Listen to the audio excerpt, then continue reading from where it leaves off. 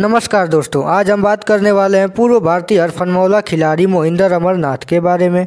आज हम इस खिलाड़ी के बारे में जानेंगे कि कैसे इन्होंने सन तिरासी में भारतीय टीम को चैंपियन बनाने में अपना सहयोग दिया।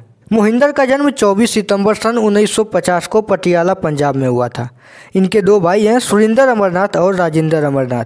इनके दोनों भाई भी क्रिकेटर रह चुके हैं। मोहिंदर अमरनाथ ने भारतीय क्रिकेट टीम को कई यादगार पल दिए हैं। कभी अपने बल्लेबाजी से तो कभी अपनी गेंदबाजी से। 24 सितंबर सन उन्नीस सौ उनहत्तर को ऑस्ट्रेलिया के खिलाफ मोहिंदर ने अपना टेस्ट पदार्पण किया।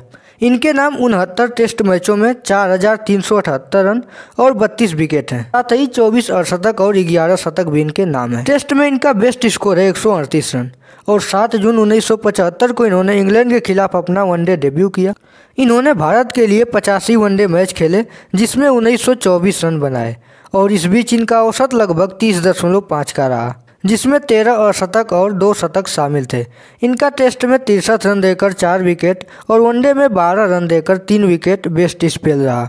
मोहिंदर अमरनाथ सन तिरासी विश्व कप में अपने शानदार प्रदर्शन के लिए जाने जाते हैं।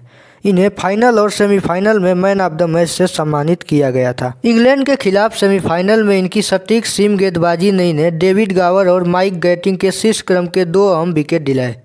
ही बल्लेबाजी में इन्होंने छियालीस रन बनाए, जिसके कारण इन्हें मैन ऑफ़ द मैच चुना गया। फाइनल में भी इन्हें मैन ऑफ़ द मैच चुना गया, क्योंकि बल्लेबाजी में इन्होंने 26 रन का योगदान दिया और भारतीय टीम ने एक सौ तिरासी रन का लक्ष्य खड़ा किया।